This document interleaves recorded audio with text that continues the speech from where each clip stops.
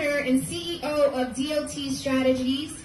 She continues to work to empower our community gardens to reach their full potential by activating their space and providing technical assistance in the creation of programs to address the community's needs around access to quality, locally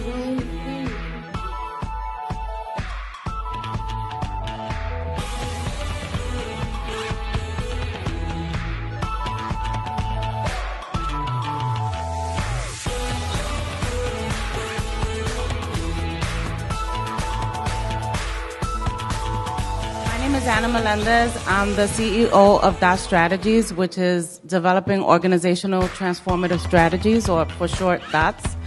Um, I that is a consulting business which helps um, nonprofit organizations and community groups to implement their um, goals and their mission.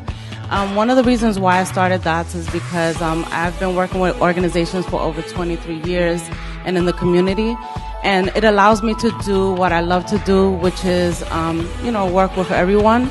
And also, um, it doesn't limit me to work with just one organization or one mission.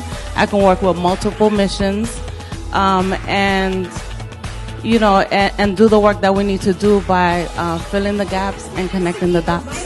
Thank you. In every organization you can think of. I mean, literally, I'm only giving a snapshot of what this woman has done and where she's worked. And I want to just say thank you. Her passion fuels her drive, and we are just so grateful to honor and recognize her today. So thank you, Ana.